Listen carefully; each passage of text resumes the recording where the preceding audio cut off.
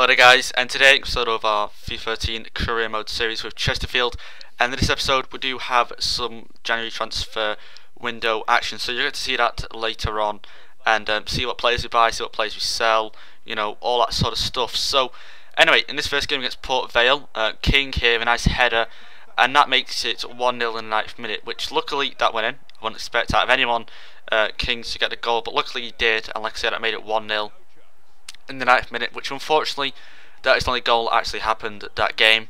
So unfortunately ended 1 0.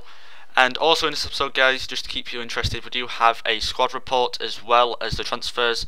Um, in the squad report, you also get to see players like um, Lee going up in overall. I think everyone's gone up except from like the odd, I think it's like five players that haven't gone up in overall. So um, it's a pretty unfortunate um, day couldn't go up as well. But like I say, uh, players have actually done well to go up in overall.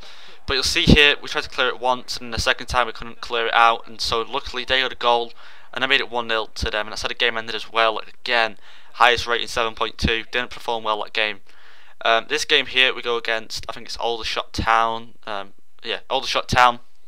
Going to this game now, and um, also I'm going to recommend, guys, is I'm going to try and um, try doing another series alongside of this. So what I'm going to try to do maybe is a player ultimate team, uh, ultimate team player road to glory. So if you don't know what it is, I'm going to quickly explain.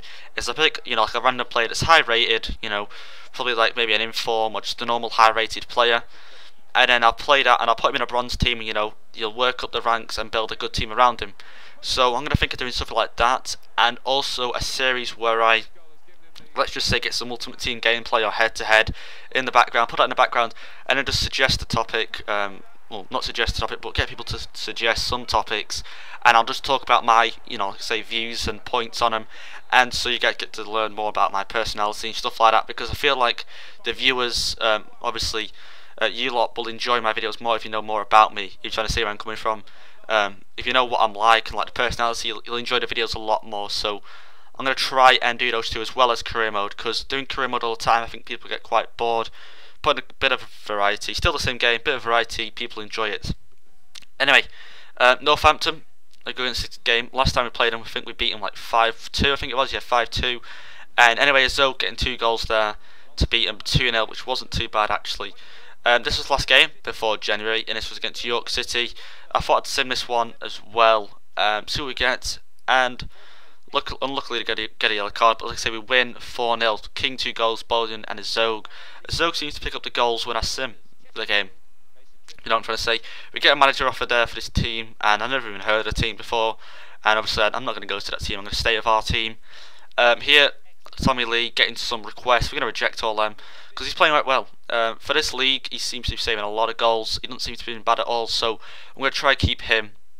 Cause He's only 26, and goalkeepers don't really retire till you know, late 30s. So we're going to keep him. He'll do his fine unless maybe we get to um, the Prem and we might have to buy a new goalkeeper. It depends what his overall will be by then. Um, here we have some players that we're going to go out and uh, put to the transfer list or even on loan. Uh, we put our scout star on loan as well because we feel like you know he's going to do better out on loan than here. Even though I, I usually play him, I can get him out on loan even better. If I have to play him and keep him, not too bad at all. Um, also, you guys, you're probably thinking, um, this Scout Star wasn't as good as it could be. Uh, do you want me to buy another Scout Star? Because I can buy another one. I've got like two left to buy, so I can probably buy one more. See if we actually get an outfield player. I'm thinking centre mid, someone like you know uh, Wilshere, Mario Götze, someone you know Scout Star like that that are young and are high overall. So I'm thinking maybe we can do another one and maybe got to try and get a centre mid. But you can get um, scouts anyway, so maybe next season when we start, we actually get some money. Obviously not that much, but you know, money to start actually with. We could probably do some scouts then. So we're gonna have a look then when we start next season. Uh, we're going to that game. We win two 0 um, This CDM, um, I spent a long time looking at some players. I didn't include it all because I felt like it wasn't needed. But this CDM, I decided right. You know, he's got work rates medium, medium, so he can play cam, he can play CDM, which is not too bad. So when our cam and centre mid get tired, he's going to play. Um, I offered two grand because he was a free agent, so I thought, well, if I offer that, he might join. But you'll see later on that doesn't go to plan. Uh, we beat that team there 5 0 with Richards coming on getting a goal and all that sort of stuff. And we get a transfer here for Mark Allott, who, you know, look at look at them. I just don't, I didn't like him, so I sold him. uh, you know, a little bit of money, not too bad. So, anyway, guys, that's the end of the episode. So, I hope you enjoyed, and if you did, leave your comments down below, and I'll see you all in the next episode, guys. So, thank you all for watching.